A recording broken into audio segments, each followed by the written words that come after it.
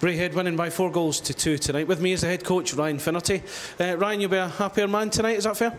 Yeah, obviously happy with the win. Uh, a much needed win for us. Uh, you know, I thought we, we, we played well in, in, in spurts and we looked like a team maybe running on low confidence. So hopefully we can we can take uh, the positives out of this game and, and carry it on into Sunday.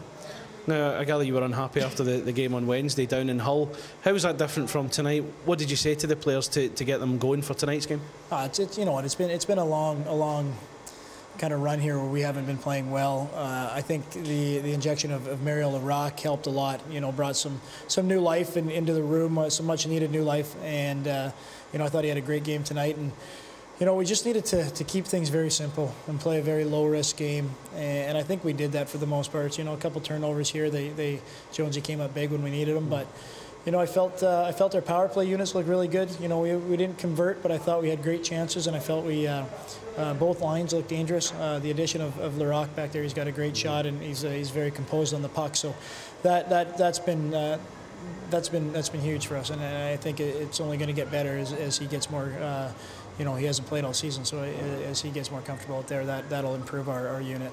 Take you back to last Saturday, Clan went 3 2 ahead against Hull late on. Did the same again tonight. Were you worried that, that Fife could have struck it again and, and equalised late on again, like the way Hull did? Well, obviously it's, it's been happening, and you get concerned, and you want to you want to tighten up defensively. I thought the guys, uh, our bench management, uh, as far as how we controlled when we had the lead and how we played was a lot better. Mm-hmm. You know, I thought we we put pucks in, in safe areas as, as opposed to as opposed to putting ourselves in a situation where we can turn them over and, and get guys caught below the puck. So I thought that we uh, we were much more responsible on the ice with, with the time management there, and you know we didn't limit them to, to a whole lot. Um, you know, I thought our penalty kill came up huge. That five on three came up huge for us there. Uh, you know that, that they score a goal there, and it's a different game. So, you know, there, there were a lot of positives. I think we need to we need to energize from this and and and guys need to, to take what they can, all the positives, and we got to bring it into a game, uh, a big game for us Sunday. I mean, we're, we're back joint third place right now. You know, we haven't been playing well, but it's not like we're in a, a massive hole. You know, I think we still can, can control what we want to do here, and and that, that's the message. We got to uh, we got to take it game by game right now, and, and if we can if we can chip away and take the positives and, and get get better, I, you know, I think we'll we'll find some success going forward. How big a weekend is this in, in, terms of the narrative for the season? There's been that slump recently. We've got Fife home here tonight, Hull are back here on, on Sunday as well. In terms of the, the whole season, how, how big a weekend is this? Well, they're all big now. You know, it, every every game's the, the, biggest game of the year now. You get down the stretch, and, and like I was telling the guys, we're going to blink, and it's going to be the end of March. You know, and and uh, we, got to we got to take control now. And you know, we're, we're, we're, playing some very good teams. Hull's a very good team, and and then we got Belfast, and then Dundee, Dundee. So, you know, this is a massive, massive part of a stretch. But right now, we we're just happy with happy with the win tonight, and take what take what we need to here, and, and try to improve in, uh, on Sunday.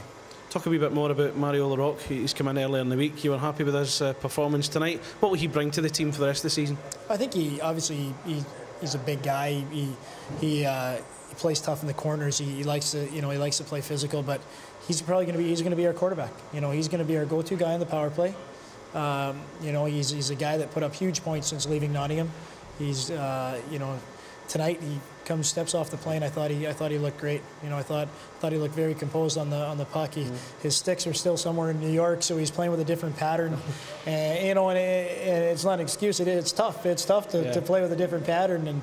You know, you're used to it all his life, especially at his age. He's been playing for a while. So, no, you know, I, you know, I said I saw a lot of positives there. I think he's he's very, uh, very positive and and uh, he communicates well on the bench you know, so he's got some good leadership skill, and it's something we need. We need kind of an old, an old presence back there, but uh, Mario's here to, to, quarterback our power play and, and, to be that guy on the point, and he's going to lug a lot of minutes. And like I said, I, I was, uh, I, I was pleased with, with what I saw tonight.